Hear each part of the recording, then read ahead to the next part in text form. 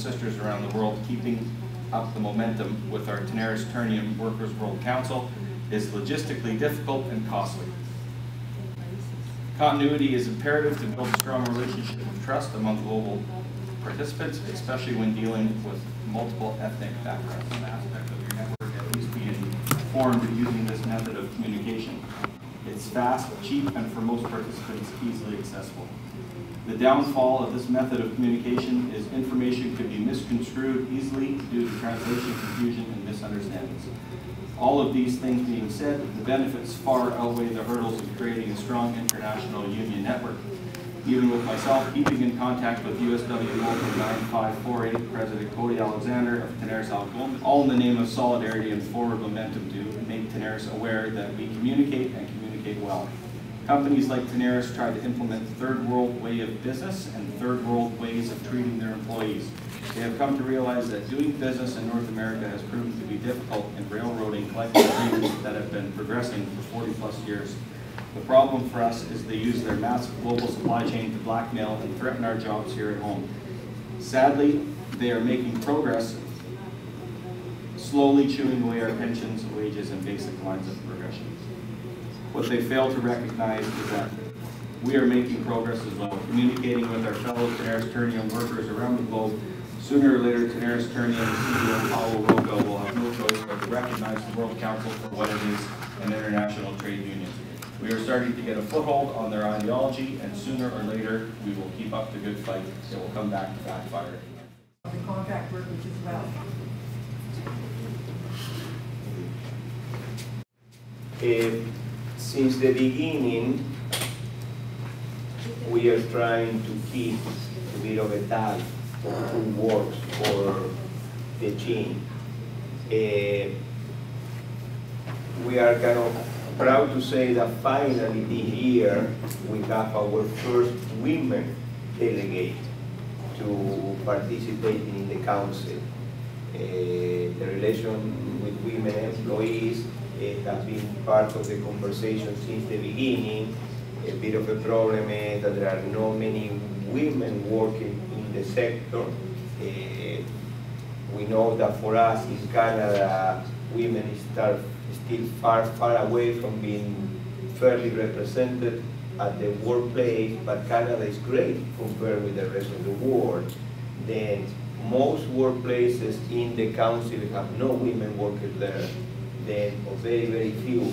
Then trying to get women has been difficult and we are proud that finally we have a, a women working for Ternium in Argentina that is a delegate in the council. This year we formed the Youth International Council, in which members uh, 35 years or younger are trying to connect among themselves internationally to start talking about their needs. We have been not as successful working with contracted out workers or uh, subcontracted companies. We keep the tag, we know who they are. In several countries, the same unions represent permanent and contracted workers. Then, in many cases, the union brings the voice of both. But in many other cases, like in Canada, we do not talk in the name of the contracted workers. Uh, we have been uh, discussing it.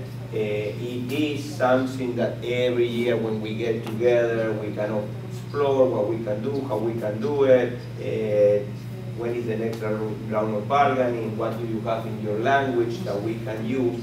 But uh, we have been not as successful in the sector of contracted workers as we have been making some still far away from being there, but some advances on the women and in the youth.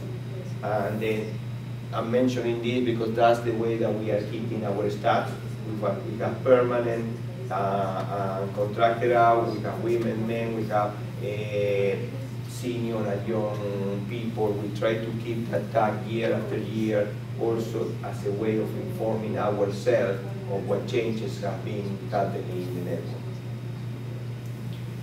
Is your question more geared towards like workers on the ground, like your maintenance, or just contractors in general?